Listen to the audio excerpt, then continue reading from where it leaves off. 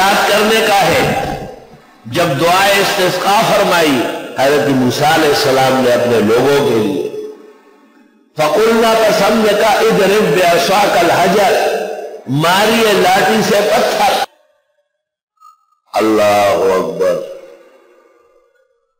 اور یاد کرنے کا ہے، جب دعائیں استسقا فرمائی، موسیٰ علیہ السلام نے اپنی قوم کے لیے پسند نے کہا، ماری لاٹھی سے پتھر یہ لاٹھی موسیٰ علیہ السلام کو جب شعیب علیہ السلام کے گھر رہتے تھے، انہوں نے دی تھی۔ اور یہ لاٹھی آدم علیہ السلام کے ساتھ جنت سے آئی تھی، عام لاٹھی نہیں تھی۔ اور جب موسیٰ علیہ السلام سو جاتے تھے، تو اجدہا بن کے چکر لگاتا تھا۔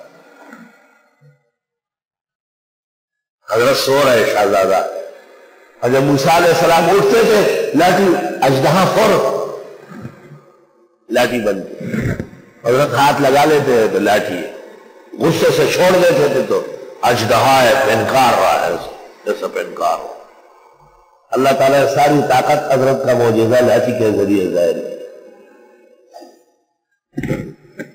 عصائے موسیٰ۔ العصا لمن عصا۔ فن فجرت من حسنتا، عشرت آئینا۔ بس بہ پڑے اس میں سے، بارہ چشمے۔ قد علم کلو ناسم مشربہ بس معلوم ہوا ہر جماعت کو اپنا گاٹ بس پتہ الگے دا ہر یو ڈلے تا دخل گدر۔ آہا، گدر تزم را پس راشا او زب منگے پلک رو رو ڈکا ہوا۔ اللہ اللہ۔ سبحان اللہ گدر د جلالا گدر اوران شي او په جنکو د سالنده ولګو جلالا ځای ځای ته مردان لاره ډېر خطا دی ډېر زیات حالتا پانی بنتے ہوئے جاتے ہیں نا تو سانس خراب ہو جاتی ہے تو سلیم لاجبر ہمارے دوست ہیں گلشن میں پبی کا رہنے والا ہے آگم سندر آ رہا جلال دوڑتے ہیں جلالا پخیر جلالا گدر اوران شي تل دیا گاؤں دام پکی غزل رباعیات اشعار یہ علم ادب کی پونجی ہے۔ علم ادب اسی سے سیکھا جاتا ہے۔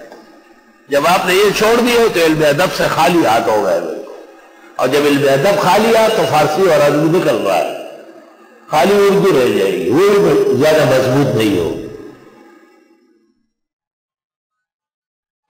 معلوم، تحقیق معلوم ہوا، ہر جماعت کو اپنا گاٹھ، ہر فرقہ، بارہ فرق ہے اپنے اپنے گھاٹ پر پانی پیتے تھے۔ اس میں سہولت بھی ہے۔ جیسے مختلف طلباء ہے اگر اس طرح کیا جائے کہ پہلے فضلہ کو بلائے، علماء کرام کو، پھر دور حدیث والوں کو، پھر سابیہ کو، پھر سادسہ کو تو آرام ہو جائے۔ لیکن افطار میں تو نہیں ہو سکتا، وہ تو سب کا ایک جیسے روزہ ہے۔ اللہ تعالیٰ آسان فرمائے، امید خیر ہوگی اور برکات ہوگی انشاءاللہ۔ کھانا پینا تو مقصد نہیں ہے، مقصد تو سبق ہے۔ رمضان المبارک ہے عبادت ہے، تراویح ہے، روزہ ہے۔ لیکن اللہ نے جب وہ سب عطا فرمائی ہے، خصوصی عنایات فرمائی ام اليوم فقد وسع اللہ علیہ۔ وله الشکر الحمید والحمد المجید على نعمائه وآلائه. تحقیق جان لیا، ہر جتے نے اپنی گاٹ کھاؤ اور پیو، اللہ کے دیے ہوئے سے گلو وشربو برزق اللہ، ولا تاسعوا فی الارض مفسدین، پھر نہ نئی ملکوں میں فسادی۔ شاہ عبد القادر نے تفسیر میں لکھا ہے کہ یہ لوگ راہ زند ہیں راہ زند ہے آج کل راہ زند بہت ہے موبائل چھینتے ہیں، پورے پورے ڈکیتی ہو جاتی ہے بس کو روک لیتے ہیں۔ موٹر سائیکل والے غریب کو لوٹ لیتے ہیں۔ آئے آئے وہ دین جو بڑی شان سے نکلا تھا عرب سے، پردیش میں پہنچ کر وہ غریب الغربا ہے۔